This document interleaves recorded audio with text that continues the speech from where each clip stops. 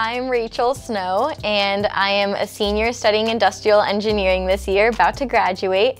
I'm originally from North Carolina, but have been based out of Muncie, Indiana for the last six years, and I love being involved in undergraduate research.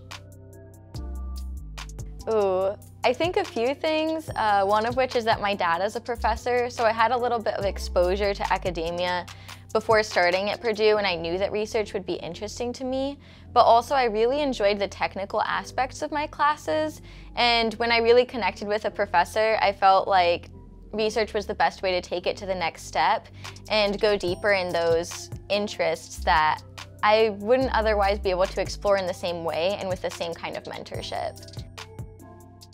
So my first experience in um, in research here at Purdue was actually with Dr. Cai, and I worked on her uSMART lab for sustainability research and was essentially developing a computer program that would create a bike sustainability sharing model. So you can look at how bike sharing systems are able to impact the global emissions or how the emissions compare to other forms of transportation is the first project that I was working on. Uh, and I would say the most impactful or the most interesting research I've done so far has been in the Connplexity lab with Dr. Goñi.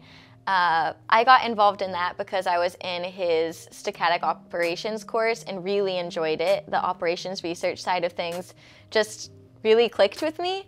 And so when I was able to meet with him and discuss some of these things, I was always asking questions after class.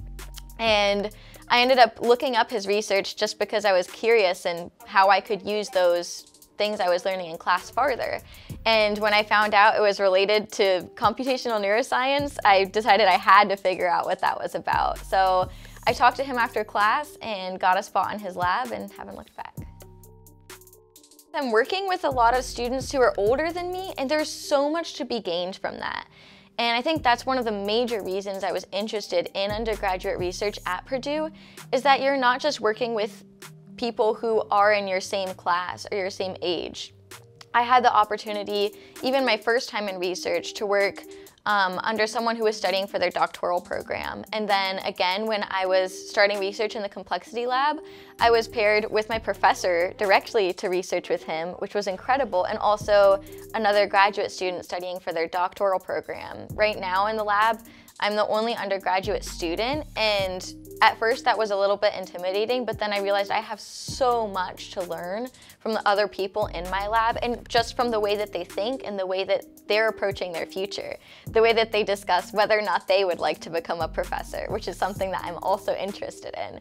So hearing their thought process as someone who's farther along in the process, it's almost like an indirect mentorship and an academic setting. So I look up to them not only in what they're doing, but the way that they think and the way that they process their information about the world. My first time researching, I was working under a graduate student mentor named Hao, and he was very helpful for me, especially in that beginning stage of research, because I was coding in Python, which I had pretty little exposure to. So a lot of that beginning research for me was learning how to code, learning how to think, and understanding the logic of what I was doing more than even focusing on the actual bike systems that I was coding the system for, but understanding the logic of how to create a solution in general with code. And then getting access to a large database, learning how to process large amounts of data, and learning how to use the supercomputers at Purdue in order to process that data that my computer could not handle. And so he was just very supportive with that, always answering my questions. And as I moved to the Connplexity lab that is perhaps a better fit for my personal interests, I was paired with Mingtao and she has been really incredible in terms of providing me feedback for the things I should be looking into.